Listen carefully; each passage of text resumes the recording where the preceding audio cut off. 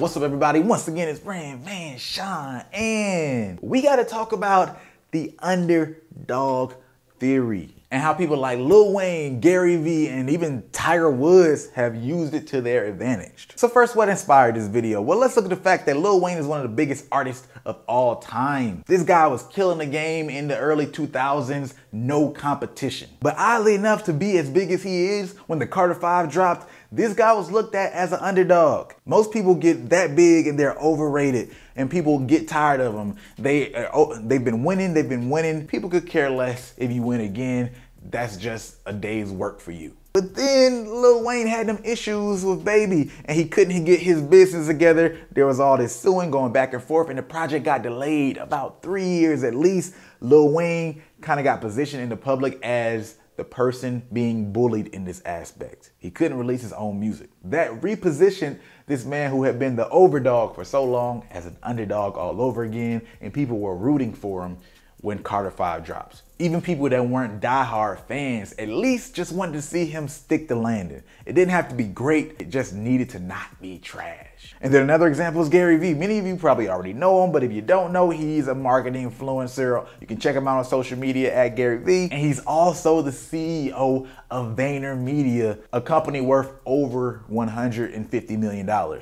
He has all kind of investments. Dude got money. Still, you find it where a lot of people are rooting for him to be successful and to keep going, keep going. First of all, he does humanize himself and he's constantly grinding. He's showing you that he's putting in the work and he's helpful for people, but he also uses this positioning as an underdog by projecting this huge vision. What you talking about, Sean? For anybody that watches Gary Vee relatively often, you know the fact that he loves the Jets. And not only does he love the Jets, he wants to buy the Jets one day. And although he's rich as hell, he's not anywhere near in a position to buy the Jets yet.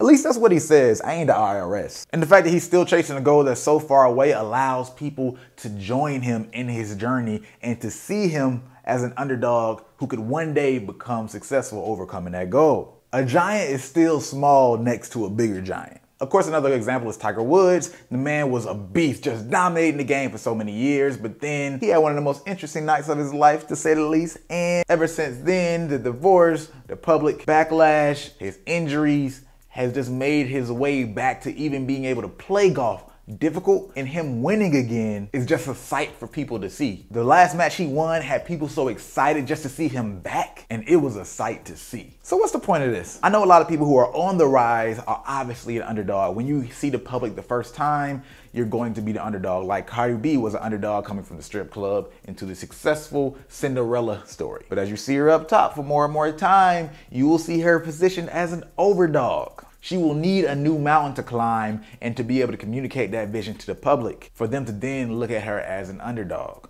break new barriers. Russ does this with his audience by making himself a rage against the industry. The industry is this big giant, this nebulous giant that isn't necessarily even real, but he creates this enemy of sorts that allows people to rally around him as an underdog against it. Eminem did the same thing back in the day, actually. As a matter of fact, he was a bully for the most part. He was bullying these individuals but still painting them as a part of this grand industry, which was the giant.